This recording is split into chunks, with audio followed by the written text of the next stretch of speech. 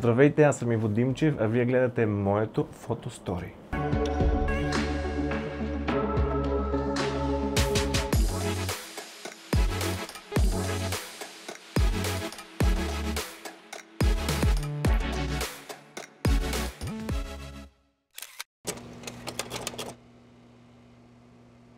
Тук яздя каруца. Мисля, че съм на, може би на 4 или 5 годинки. Не се вижда на снимката, но всъщност коня се оплашил и тича по поляната.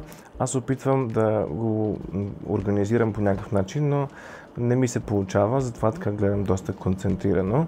Не си спомням дали паднах, мисля, че не паднах, защото от един друг кон съм падал, от една друга каруца. Това мисля, че беше някъде около язовир Искър, понеже с моите родители много често ходихме на почивка лятото на Язовир Искър. Моят баща е електротехник в завод 6 септември, електрокарния завод 6 септември. Едно време имаше такъв завод в Красна поляна.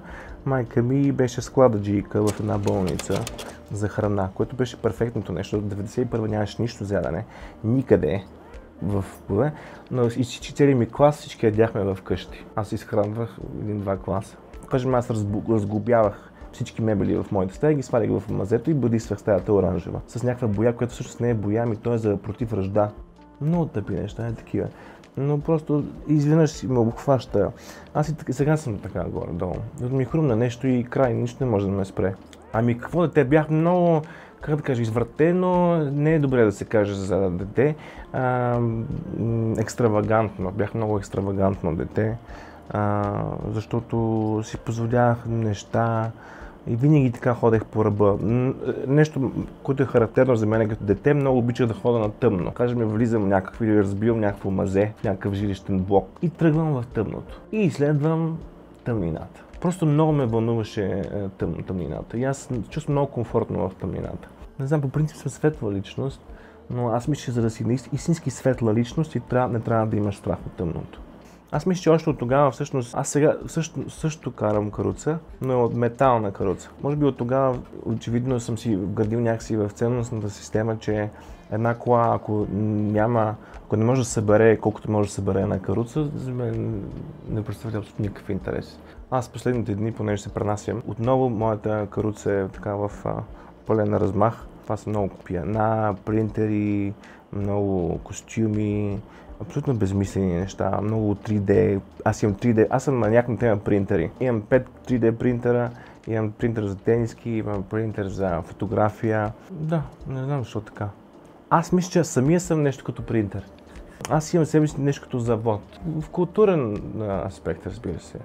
Някакъв културен завод. И за мен е много важно непрекъснато да се принтира, да се произвежда, да има някаква, някакво текущо текучество да има. Аз поемам големи рискове. А, обичам да, да рискувам и а, не се страхувам да правя неща, в които не съм много добре запознат. Други хора, да кажем, аз съм правил изложби с картини, с фотографии, да кажем, изведнъж решавам, че съм фотограф или или ще правя изложби с картини. И аз нямам такова образование. Ми той с песните са по същия начин. Аз съм 40 години, докато имах много успешна кариера като съвременен артист по цял свят с спектаклите си, изведнъж просто реших, че ще пише песни и това е. Зарязах а, така луксозната си кариера а, в областта на съвременния, съвременния танци, театър и перформанс и започнах от нулата. Седнах, научих се да свиря на пиано, не да свиря на пиано, ми се научих да си държа двете ръце в една, в една тоналност, за да мога да композирам песни, защото преди това не знае как, не знам нотите.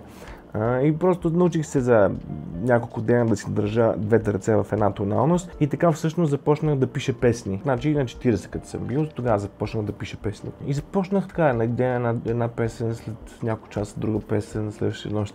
И така много бързо ги пиша си казвам, че съм като принтер. Дори понякога си забранявам въобще да докосвам пиано, защото знам, че ако седна, ще трябва да пак да почна да обслужвам някаква, някаква песен. Имам предвид, то като почна да, да се ражда, аз трябва да седна и да я обслужа. Нали? Аз съм обслужващ персонал. И колкото е да е идиотско, нали? аз трябва да, да свърша тази работа, защото така, това ми е вътрешното задължение. Това ми е основният приоритет. Нали? Работата към невидимото Министерство на културата.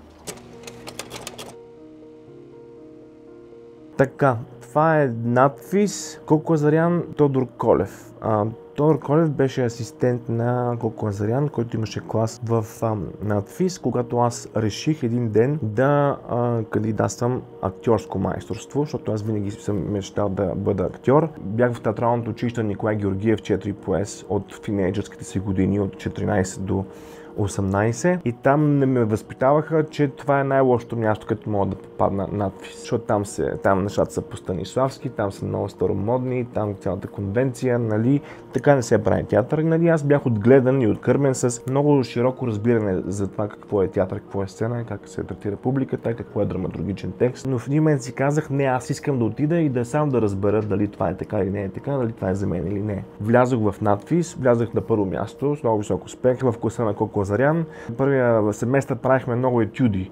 Смисъл много тялото участваше, нямаше текст, нямаше драматургия, само етюди. Разиграхме, аз имах богато въображение, играх парцал, още от тогава парцал всъщност. Още си има една песен парцал, прословата. И ти си парцал, и аз съм парцал, но на теб сърцето бих си дал. И ти си парцал, и аз съм парцал, но на теб сърцето бих си дал, бих дал, дал, дал, дал, дал. Всичко. И тогава спомням, че имах един тют на парцал. Играх парцал и се обърсах цялата а, сцена. Много бях, бях впечатлени. Аз бях много пластичен също така. Та ми беше много удобно да играя парцал. И така много добре ми вървяха нещата до момента, в който се сблъскахме с драматургията.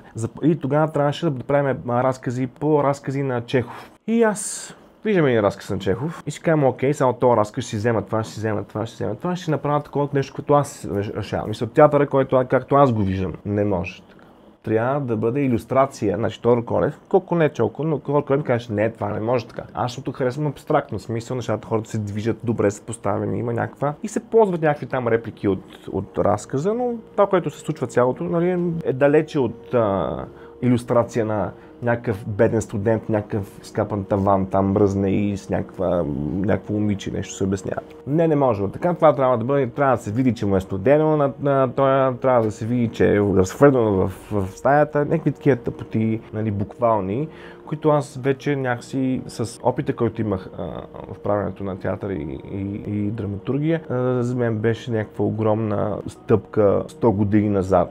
Аз знаех, че ако ще правя театър или ако ще правя снимам с сцена, това ще е по моите закони колко, които колкото и са непостоянни, ще си бъдат моите. Аз ще решавам а, какви ще са законите на тази сцена. И, а, и бях свикнал сам да си пиша драматургията или да правя трактовки по някакъв текст.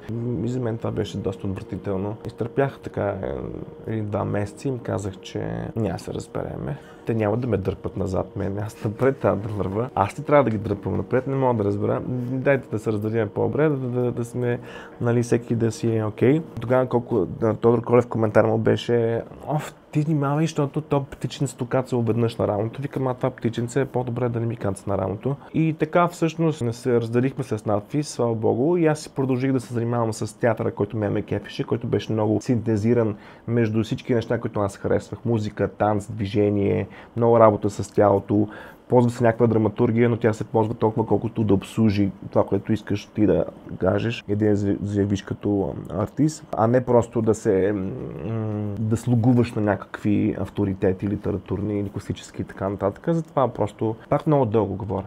Нали, ето тук може да приключиме с тази тема. Като напуснах Витис, аз започнах да работя все още като танцор в разни танцово-театрални спектакли. До един момент реших, че аз мога сам да ги правя тези спектакли и може би две години след надпис направих първия си а, спектакъл, с който ам, за един фестивал в Швейцария имаше конкурс за проекти, аз го спечелих, направих там а, премиерата на първия си а, самостоятелен хореографски спектакъл. Зарязах театъра и си казах, за мен е по-важно е, по-интересно е танцовия театър театър, понеже там мога да изразя наистина нещата.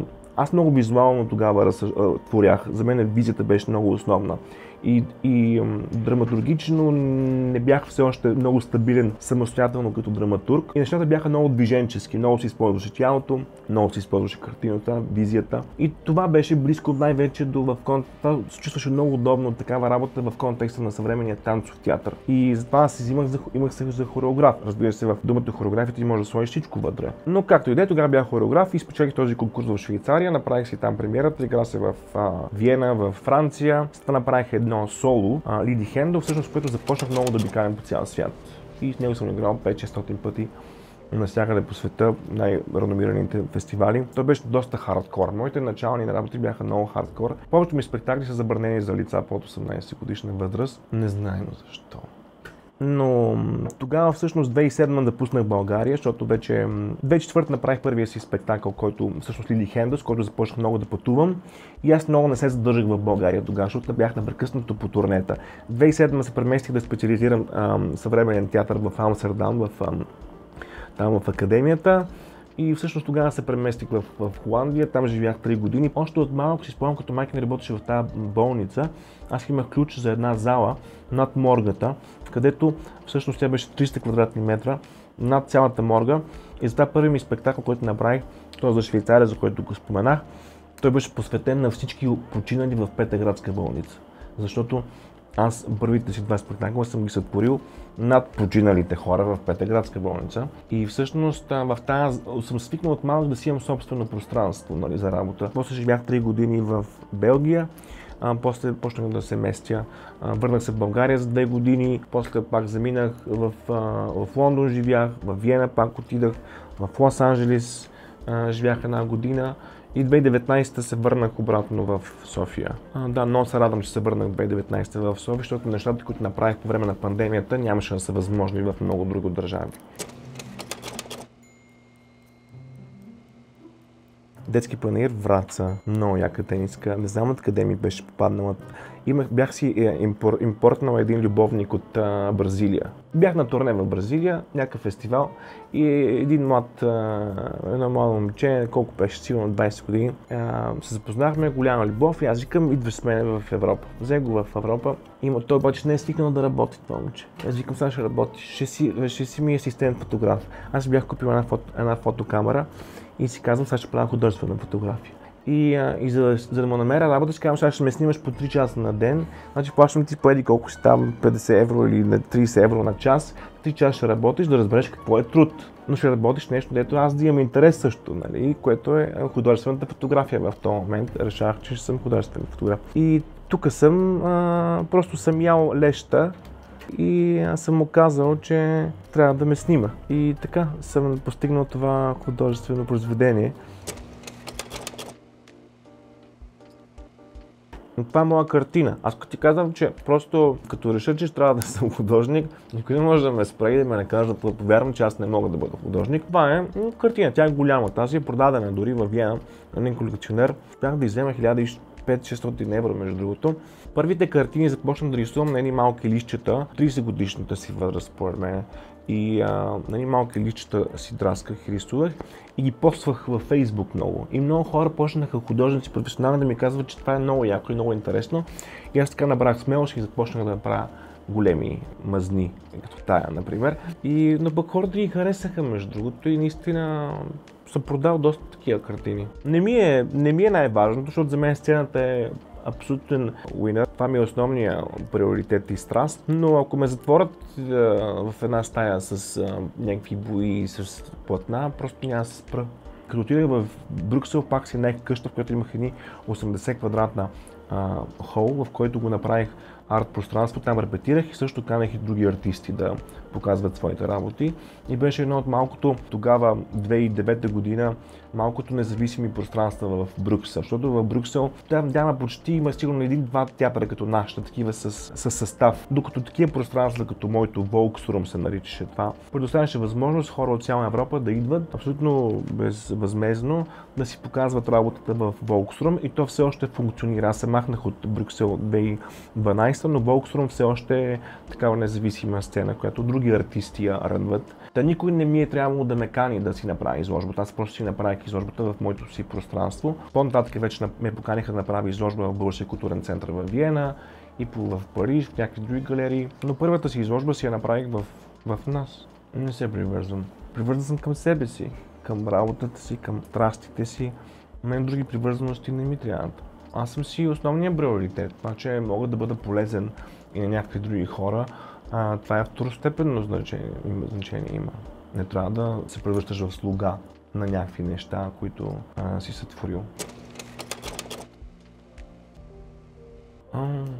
е, как може? Това е спектакъл, в който моя, моята героиня от първият ми соло, Лили Хендел, с което много се, е гост, защото Лили Хендел, тя смята, че е произведение на изкуството. Значи 2004 аз съм смятал, че перформативното тяло, то няма пол, няма възраст, няма принадлежност, човешка дори. То е някакъв свободна, празна субстанция, която може да се, да бъде, да се превръща във всичко. И това ли излезе Лиди Хендъл, понеже тя смяташе, че е произведение на изкуството, защото продава кръвта си на публиката в едно малко шишенце и, и хората надават като на аукшен. И така съм я продал моята кръв в малко шишенце, което съм си извичал с, с, с спринцовка от вената няколко стоти пъти и тя е разпространена по цял свят в някакви хладилници, предполагам, някакви хора. И всъщност, понеже този спектакъл, който снимката се нарича Ексон и в него работи с 40 скулптури на Франц Вест, от най-известните виенски а, австрийски скулптури скулптори. Той почина по няколко години, но при живе аз направих два спектакъла с неговите скулптури. И понеже цялата сцена е обсипана с, с произведение на изкуството, за мен беше важно телата на перформерите и моето всъщност да имат същия статут. И затова аз на се едно Лили Хендъл да бъде гост на това, за да могат телата да са не, просто, не просто да обслужват тези предмети на изкуството, а те също да се влязат в, нали, в взаимовръзки конкуренции да са на едно ниво. А, затова другите актьори, а, също, също са облечени като Лили Хендъл, защото те са копия на оригинала, както и, и въобще в визуалното изкуство винаги има копия, нали? има, има editions. Значи на сцената имаше 40 такива малки абстрактни обекти, плюс някакви, имаше 5 стола. Общата стоеност на всичко беше няколко милиона евро. Имаше охрана, която пътуваше с нас. Мисля, за таковките на това нещо е ужасна. Затова ние сме го играли няколко фестивала в Европа, но това няма как да влезе в, в България. Да, тук мисля, че взимам някаква награда за един мой спектакъл Опервил. Една експериментална опера, която направих и кар взимам за съвременен танц, перформанс, бла-бла. Да, просто бях решил, че ще направя опера и направих някакъв супер извъртен, странен спектакъл. Не знам дали някой от го е гледал, предполагам не. Играеше се в този театър е в НДК Азарян. И, а, и беше много красиво, много хубаво стоеше. Всъщност в Азарян стоеше най-добре този спектакъл, просто заради разположението на публиката. И аз много бях щастлив, че всъщност в България го оцениха по някакъв начин. За първи път така официално се оцени някаква моя, моя работа, която м- се възприемаше доста добре и позитивно навсякъде а, по световните фестивали. Но в България винаги съм бил смятан така в контекста на театър, нали, за някакъв фрик, някакъв супер странен човек.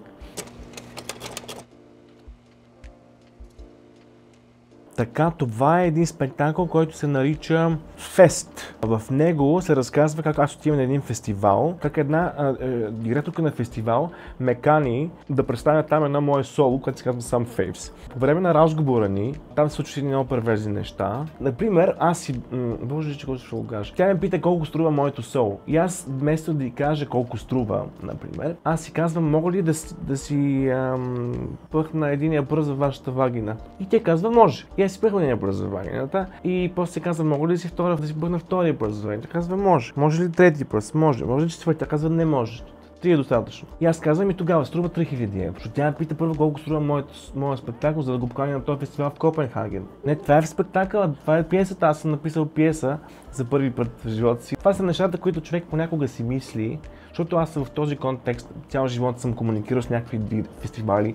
Нали, всичко, цялата ми комуникация е била много официозна, формална. И в един момент ми се искал да изляза от, от тази рамка на това културно общуване, нали, негошейтване и, и пазарене и да вкарам вътре някакви неща, които са такива подсъзнателни. И въобще връзката между power и desire, мисъл, връзката между власт и сексуалност, много лесно може да се заиграеш с власт, между, с властта и секса и страстта и жела, сексуалното желание. И всъщност аз така съвъртвах тези конвенции, конвенции в взаимоотношенията в този културен контекст, който хората са свикнали. И те откачаха, като го гледаха този спектакъл. И директори на фестивали, защото те се припознаваха в това нещо цялото. Този спектакъл, кажем фест, съм го написал. Първо написах първо действие в нас на масата в кухнята и останах действия, понеже ми беше много тъпо да, да седна вкъщи да пиша пиеса. Много тъпо чувствах като някакъв толстой, нали, който сяда и пише нещо. Си ги пишех в телефона диалозите, в, докато се моткам в метрото или там пътувам някъде. И така си го написах цялата пиеса, но много забранена. Без тая. Но много любима на много артисти, защото всичките там нали, категории вътре и роли бяха доста свалени на земята, дори така зарити. Нямам аз съм направил 37 спектакъл. Импровизационни, интерактивни, супер организирани, много смешни, много драматични, много жестоки, много красиви. Мисля, в един момент си казвам, enough is enough. Аз съм дал достатъчно на този контекст. Сега искам да дам нещо в някакъв друг контекст. Лирики, педератоси, това, това значи лирика, ясно, някакви поезии, педератоси, това са статуси в Фейсбук с на педератска тематика. И така защо думата педератос, това значи. Това са кратки истории от моят сексуален живот, който е хомосексуален, по света и у нас най-вече по света, защото тогава много пътувах, докато ги пишех тези неща. И за мен беше, не знам, по някакъв начин беше важно да разкажа и да споделя нещо, което по принцип стои извън обсега на, на хората, на обикновените хора, на хето света. Никой не, не го интересува как един педал е правил секс с друг педал. В смисъл това никой не го интересува. Дори педалите не ги, може би не ги интересува. Но, ако аз го разкажа по някакъв супер смешен, интересен, абсурден начин, хората ще го прочитат и дори ще се забавляват. Изведнъж това цялото нещо, което е ужасяващо, неестествено, безбожно, изведнъж ще придобие някакъв много вид, който е супер непретенциозен, лек, смешен, забавен, абсурден и ще е някакъв вид литература. Аз нали казах, че имам копия 3D, 3D принтери. Това са 3D копия на моята глава, които аз ги а, слагам върху различни обекти. Тела на животни, кукли, предмети, каквото намеря и ми е интересно. Това са такива селфита, селфи скулптури с това. Сега целият ми двор в Симеоново е усеян с такива идиощини. Някога ги правя, за да ги държа в мазето.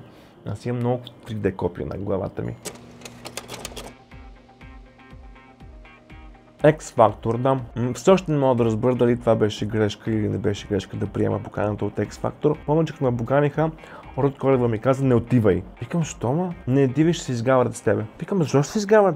Те ме поканиха. Аз, моето условие беше да, да пея собствените песни, че иначе няма да, се, участвам. Те казаха, да, искаме да си пееш твоите песни, много ги харесва. Нищо, просто ми се обадиха, аз тъкмо се бях преместил в Лондон да живея. И един месец, като се преместих в Лондон, ми се обажда по телефона и казвам, здравейте, ние сме, аз съм скаут за X Factor, много, сме, много ви скефиме, ще участвате. И аз чекам, чакайте малко. С това някаква шега. Викам, не, викам, аз съм, аз съм възрастен човек. Не знам за какво съм ви аз, нали. И казвам, аз не пея кариоки, той мисля, не пея популярни песни, аз пея моите песни. Да, няма проблем, да. Така просто обадиха ми се и аз казах да.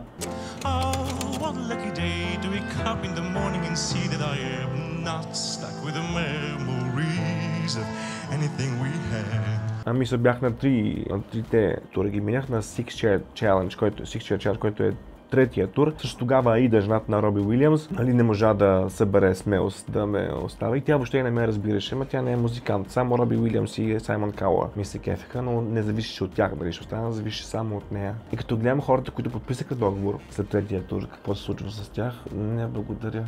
И все още има хора, които от X Factor ме намират в YouTube и попадат на моите музики и си, и си стават фенове.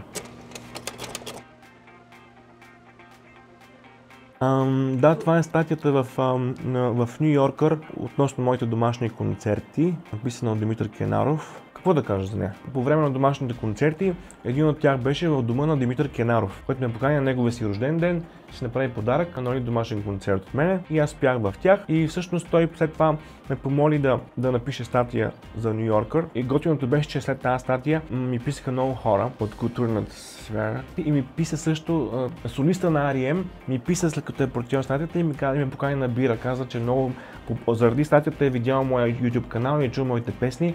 И каза, че съм страхотен а, композитор и много альтернатив и много иска да, да, да се срещнем в Нью Йорк или в Берлин. И сега като хода в Нью Йорк декември месец, защото там трябва да снимам домашни концерти, ще му пише, че съм в Нью Йорк и ако той е тогава там, ще, се, ще изпиеме тази бира.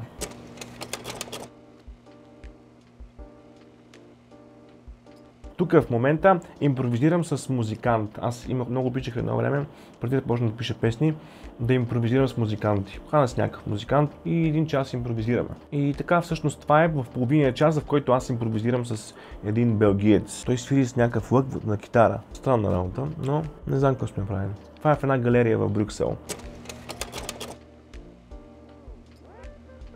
Дейвид Линч коментирам едно малко документално филмче, което направихме с Криси Николова миналата година за домашните концерти и той беше казал много хубави неща. Беше казал, че в този момент света има нужда от такъв generous soul, бла бла бла, че съм имал хубав глас и такива работи.